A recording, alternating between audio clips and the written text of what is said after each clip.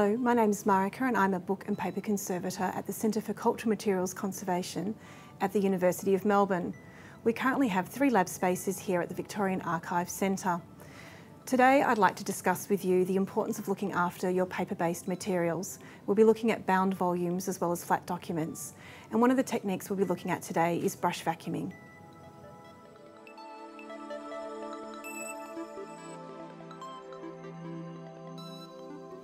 As you can see, this book is quite large and quite heavy. It is a female prison register which is currently held at the Public Records Office of Victoria. You need to be very careful when you're handling such large volumes and also when you need to prop them open for when you actually need to clean them. This particular volume, as I said, is quite large. It also has photographs which we need to be very aware of when we're going to be brush vacuuming. We can see here it has um, paper that is stuck in so we need to be also very careful of it as well. And this register has a lot of dust in the margins, which we're going to be looking at cleaning. But the first consideration we need to look at is how we actually hold this book open. As you can see here, I have some foam that's been specially cut, and this can be cut from um, any type of foam at all. You just need something that's nice and hard and solid that will support the book. If you can't actually access any foam like this, there's two other ways we can help you with that. The first one, bubble wrap, just with some cotton ties around it. And you can use this under the front cover of the book to help prop it open. Or you can make a pillow using calico with foam on the inside, or you could also use polystyrene beads. We now have our bound volume ready for brush vacuuming. First considerations though are what tools are we actually going to be requiring to undertake this process. A soft bristle brush is really important as we don't want to damage the photographs or any lifting pieces of paper that may be adhered to the pages. We also have small brush attachments as well, which allows you to get into margins and also into creases within paper. You need to look after your hearing while you're vacuum cleaning. So if you're vacuuming for a considerable period of time, it's really important to use ear muffs or ear plugs, whatever's comfortable for you. If the volume is very dusty, we also advise that you would wear a dust mask as well. The type of vacuum cleaner we use when we're brush vacuuming has an adjustable suction as well as a HEPA filter on it.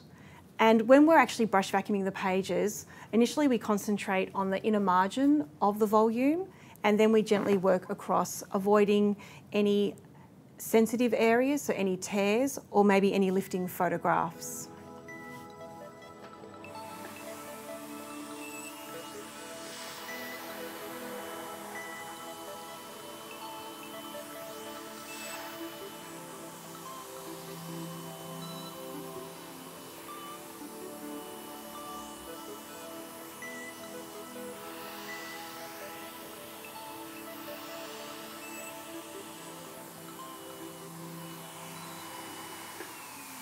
As you can see here, I've used a couple of different techniques. You can just use a straight brush or if you're a little bit nervous about the bristles on this brush, it's always advisable to use a soft bristle brush. It's much more gentler on the paper support.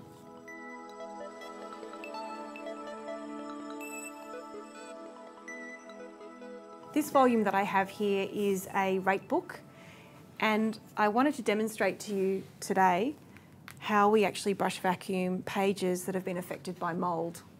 It's really important to take care of your own personal health when you're going to brush vacuum a book that may have mould or that definitely has mould. It's always important to be careful. So gloves are a really important thing to wear and you can change them quite regularly. I like to use nitrile gloves, but you can also use latex gloves as well. Cotton gloves aren't really appropriate you can use a dust mask, which I showed you earlier, which um, can just protect you a little bit further. However, if you're going to be dealing with documents that are very mouldy, I would recommend using a face mask that actually has a filtration system on it. So there's no chance of you breathing in any mould spores whatsoever. This is what I would use. I would also use a fume hood. However, if you don't have access to a fume hood, you can definitely clean mouldy documents outside on a cool, cool to warm day no wind whatsoever, and preferably in a central courtyard so you have some protection around you. Another consideration is the brushes that you use. Now earlier I showed you you could use a soft bristle brush or these little nylon brushes. However, if you do have mouldy documents, it's really important to separate the brushes that you're going to use on mouldy documents and the brushes that you're not going to use on mouldy documents. The reason why we use a soft bristle brush on mouldy documents is because the document or paper is made of cellulose matter, which is organic, and the mould uses this as a food source, which therefore breaks down the paper support.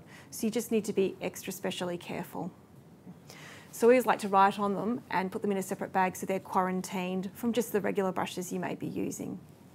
So when we're brush vacuuming a book that has mould on it, you just need to be very, very careful so we would do the normal brush vacuuming technique that I showed you earlier. However, when you get to an area where you think there possibly is mould, we need to be a little bit more careful in this area. This is where we use a soft bristle brush.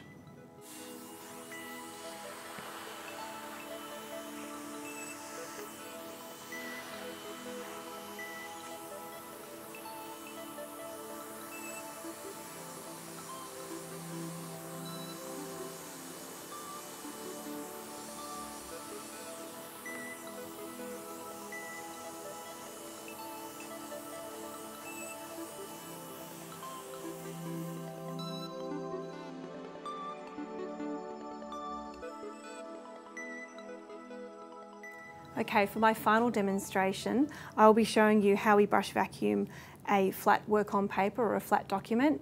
But before I go into that, the most important thing I need to explain to you is I still have my gloves on because we are still working on a mouldy document. You could also still use your dust mask or if you wanted to, if the document's really mouldy, you could get a professional mask like this one, which has the canisters attached to it. So what we need to do when we're actually vacuuming a flat-based document is we need to make sure that it's nice and flat to the table. So we can do this via just using some mount board or some paper and then a weight. You can easily purchase these uh, from archival suppliers or you could just make your own. Also, if you wanted to, you could use a glass weight as well because they're quite easy to see through. We just want to hold that nice and flat.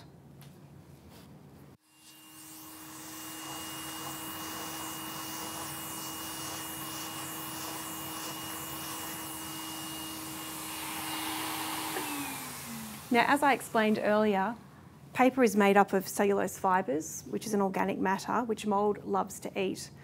So in this instance, with this work on paper, you can actually see that the mould has eaten through the paper substrate. So it's very, very fragile.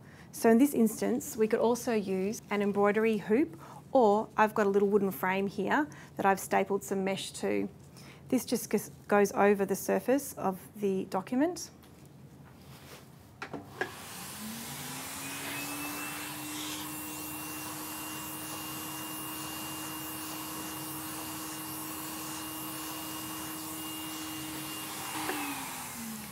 It gives you a lot more control when you're vacuuming and it just makes sure that the paper's a little bit more stable. So what do you do with the document once you've brush vacuumed it? Well, my suggestion to you is we actually pop it in an inert plastic protection enclosure. In this case, I'm going to use polypropylene. We just very carefully slide it in, knowing that this edge is quite fragile. And then this actually allows you to handle it and also store it in an archival storage environment. The tools and techniques I've used today in my demonstration can be easily undertaken by yourself. The equipment you see before you is equipment that I use on a professional capacity on a day-to-day -day basis. However, you too can do this at home. These pillows are easily made using calico and foam on the inside or polystyrene beads. Bubble wrap is simply tied up with cotton tape or you can actually get some wedges cut out of foam. Gloves are easily accessible. You could use a dust mask or, as I mentioned earlier, if you're more serious about mould removal and there's a lot of it, you can actually purchase a professional mask like this one.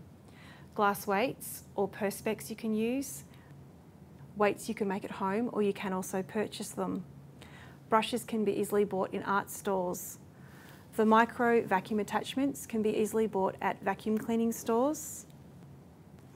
So you can easily make a little wooden frame like this one here using some wood and using some mesh that you can purchase from a textile store.